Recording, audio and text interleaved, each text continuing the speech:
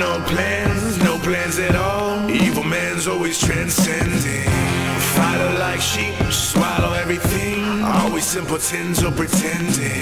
We got no plans. Today on Moment of Clarity, I talked with Green Party presidential candidate Jill Stein. I recently performed at a fundraiser for her here in New York City. Less than 24 hours later, after we talked, she was arrested for trying to enter the grounds of the presidential debate at Hofstra University. Apparently, her thoughts are so scary, they can't just be ignored. They have to be locked up. Let me know what you think. Are her thoughts scary? Should she be allowed into the debates? Leave a comment, give it a thumbs up if you like it, forward it to friends. And here now is presidential candidate Dr. Jill Stein. So, one of the things that's uh, impressive about your candidacy, among many things, is uh, that you're a female, is that you're a woman. and uh, But that's also, uh, you know, and I, I say a lot of things that are similar to what you say, just I do it with comedy. But one of the things I get from people, which uh, I know you're you're maybe sick of the whole uh, the whole spoiler argument, but is they say to me, "Yeah, but Obama's so important for women's rights." So I'm just wondering about your response to that, Right. which you is know? kind of just a response Yeah. in general to the Yes. spoiler. idea. Right. Yeah, exactly. Because what Obama's done on women's rights is take some very small steps forward while he takes huge steps backwards for the rights of women and men and children and everybody together. So, Right.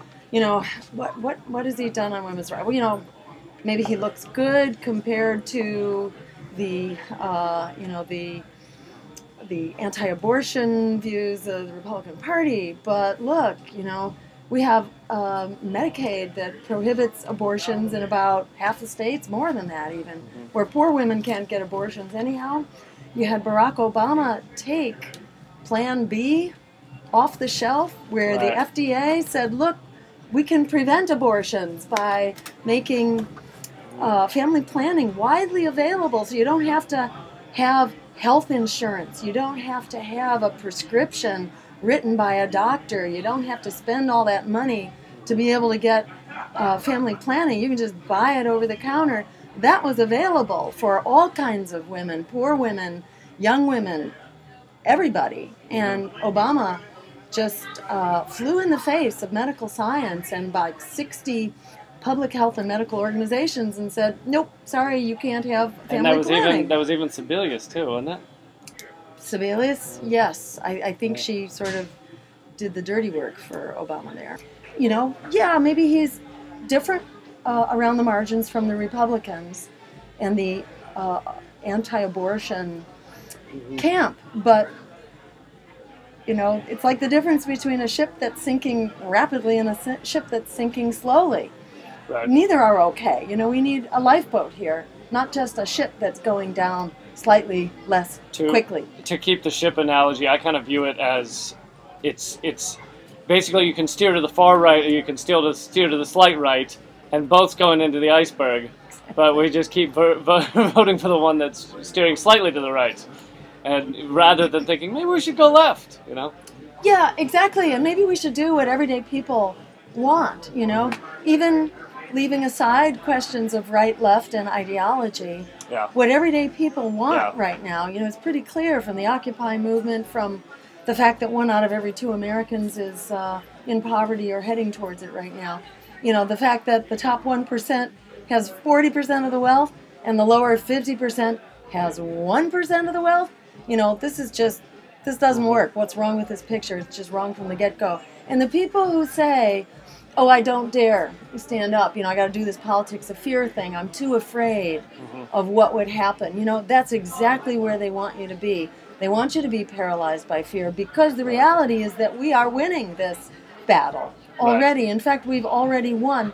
If democracy had anything to do with it, we've already won. So it's all about the politics of courage. They don't want you to wake up to the politics of courage because it's the only way they keep us down. Which I think is what started to scare them so much about Occupy uh, was the fact that people were realizing they can have an effect, and people were coming together, and and, and it, they knew they needed to stamp it out early because the idea of people having power scares the shit out of them. and especially because Occupy, you know, had broad public support behind it. You know, Right. substantial majorities were saying, yeah, this is the right thing. The economy is broken. It shouldn't be run by Wall Street. Our democracy should not be run by Wall Street. Right. Very powerful. Exactly, as Alice Walker says. Biggest way we give up power is by not realizing we have it to start with. We do have it, and Occupy, and you know the eviction blockades, and the Keystone Pipeline blockades, and the the Chicago Teachers Union, you know, in their strike and the student strikes to stop tuition hikes. You know, this is all about us realizing we have the power. The only power they have is the psychological power that they use to try to convince us that we are powerless. In Right. fact, we are powerful. We have won this election and we have won this democracy Right. and this economy the minute we realize it and we stand up. Two things, because I know we don't have much time, so I'm going to jump to uh, I, the two things I want to ask you about. Are one is the drug war. I want to hear your your take on that, and then also the five percent that you mentioned out here in the speech, which I think a lot of people don't know about the the five percent goal you're trying to get to.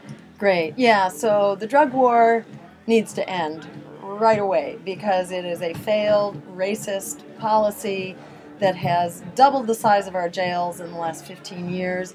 It is a new Jim Crow. Uh, it's filled our jails with African Americans and Latinos, most of whom are nonviolent users, uh, recreational users of a substance which is far safer than alcohol and nicotine. And a president, if she wanted, on her first day, could instruct Right. the Drug Enforcement Agency to do a really, really radical thing, and that is to use science in determining what what substances are and are not scheduled. Right. Because the minute Right. science is used, uh, you know, there goes hemp and there goes marijuana off the list of most dangerous and scary drugs in the world. Yeah, not a lot of people overdosing on marijuana. Yeah, or dying from it either. That's what I mean. You know, dying from overdose. And marijuana is a substance which is dangerous because it's illegal. It's not illegal because it's dangerous. And that danger from prohibition is a real danger which kills a lot of people, tens of thousands of Mexicans, for example, caught up in this drug war, and many in this country caught up in gang wars. And marijuana is the workhorse of the drug industry. So to legalize marijuana is to basically pull the rug right out from under the whole illegal enterprise and very violent public health threat. And uh, that last question about uh, just mention the five percent and why what the five percent goal means for the Green Party.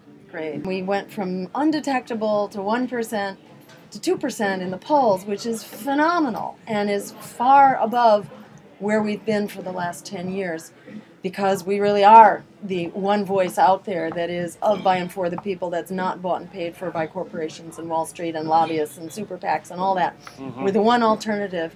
We're sort of a political voice for what Occupy is about.